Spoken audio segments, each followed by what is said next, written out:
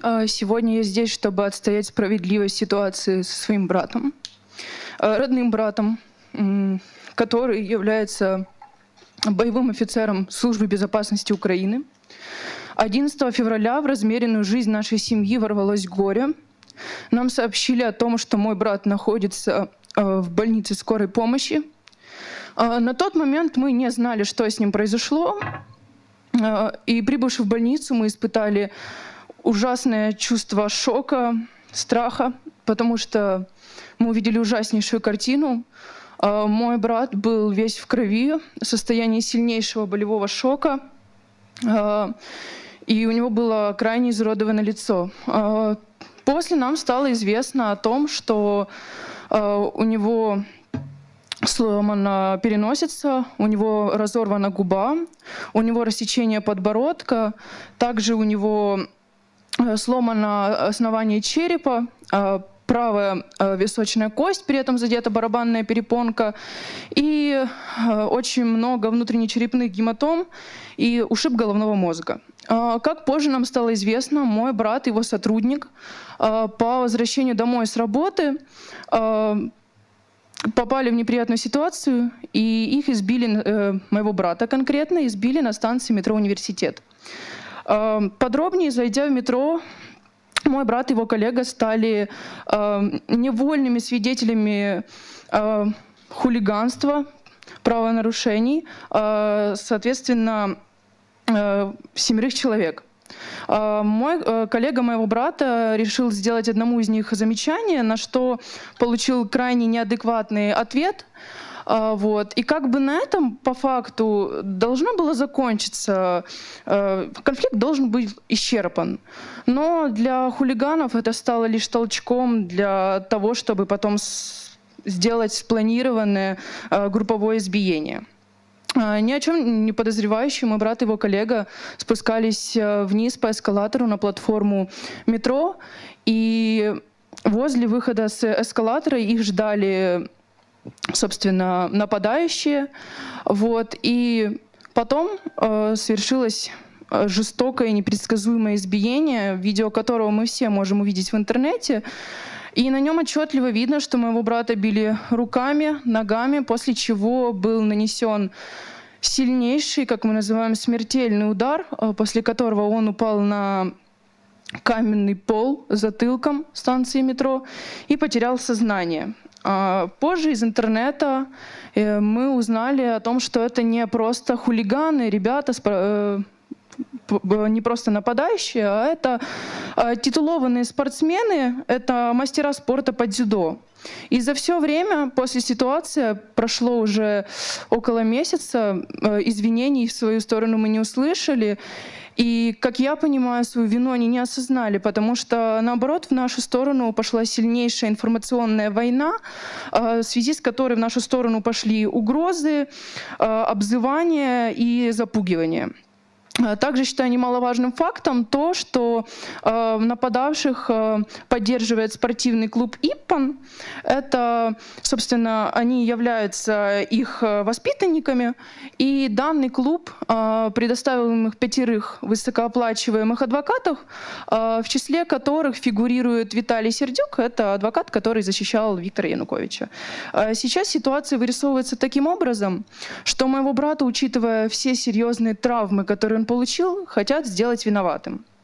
А наша семья просто хочет справедливости. А, полноценное здоровье моему брату не вернуть, а полноценную жизнь уж тем более. Человек, в первую очередь человек, офицер, который отстаивал э, наши жизни в зоне АТО, который был в самых горячих точках Донбасса, э, который защищал наш флаг, наш государственный флаг, флаг нашей страны, э, бы, Флаг нашей страны, под которым данные спортсмены получали свои титулы и награды, был ими же и искалечен. И его же хотят сделать виноватым, а данных спортсменов просто хотят отмазать. Поэтому у меня просто единственный вопрос, где справедливость и откуда нам ее искать. Спасибо. Э, я здесь представляю не только как э, коллега э, сотрудника военной контрразведки, который пострадал в этой ситуации, как же его и боевой побратим, прошедший антитеррористическую операцию, и представляю здесь Украинский центр аналитики безопасности. Вы знаете, сама, само вот это вот событие такое, ну, вызывающее циничное избиение сотрудника СБУ в метрополитене за сделанное замечание и за э, э, хулиганских действий спортсменов на входе, юных спортсменов на входе в метрополитен, оно бы так бы, наверное, осталось бы э, юридически, юридическим событием с точки зрения оценки действий правоохранительными органами. Само событие имело место 11 февраля.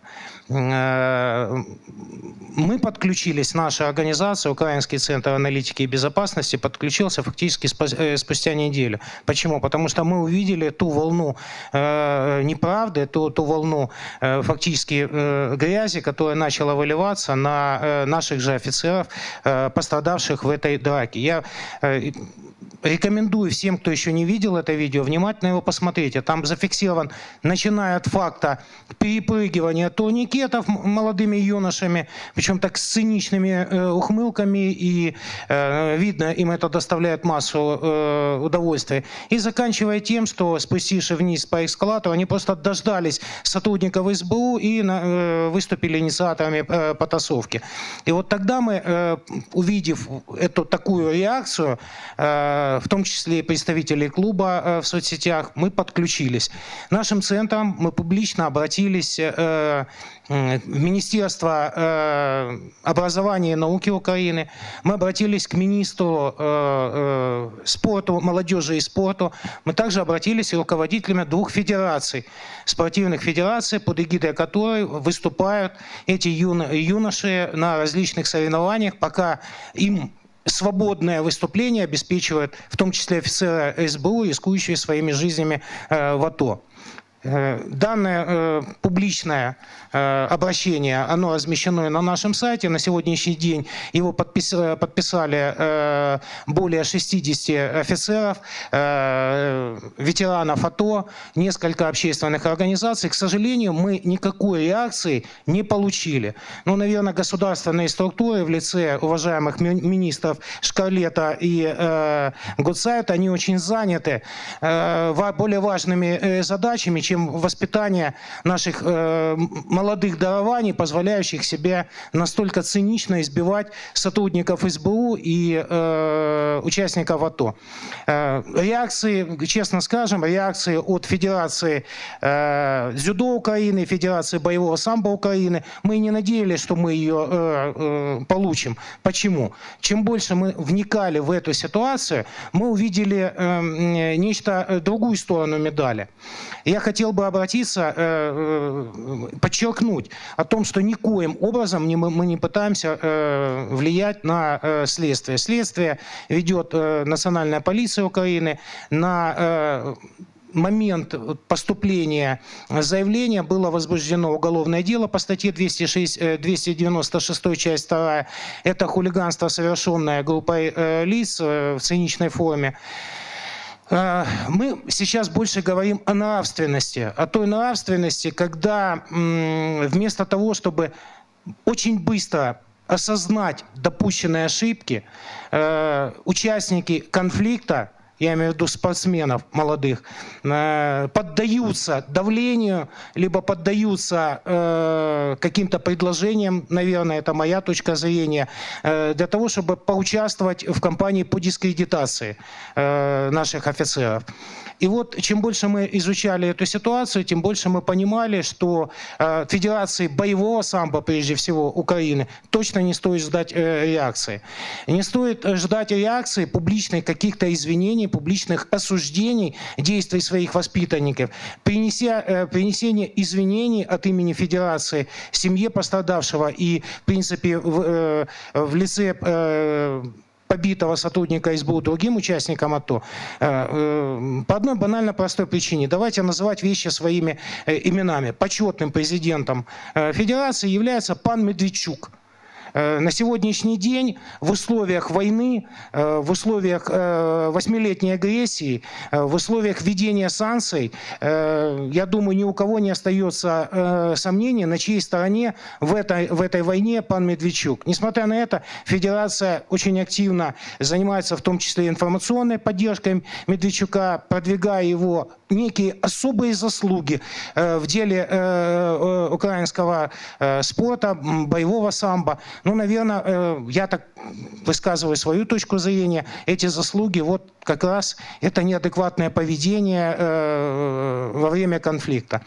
Э, более того, на сегодняшний день экспертами нашего центра такая вот аналитическая работа начата в отношении становления различного рода спортивных либо околоспортивных структур, которые были созданы и финансировались в том числе Российской Федерацией, были созданы под эгидой различных политических деятелей или общественных деятелей э, России на территории Украины э, до 2014 года. Такой аналитический обзор мы готовим, и я думаю, что он будет тоже очень показательный.